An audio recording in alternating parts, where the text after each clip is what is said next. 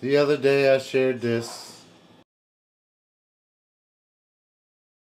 And now we're going to try it.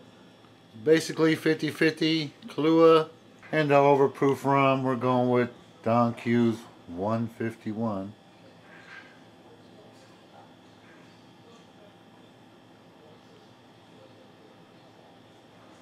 I don't know why I could never layer, but when it comes to 151, I could layer just fine. Light that on fire.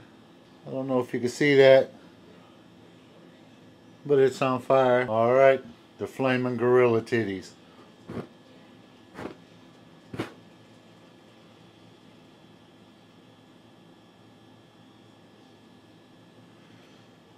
Had to let that cool down for a second. Cheers.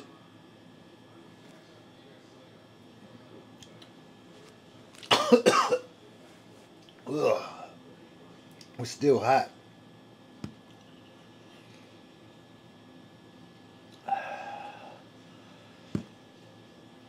Do not recommend.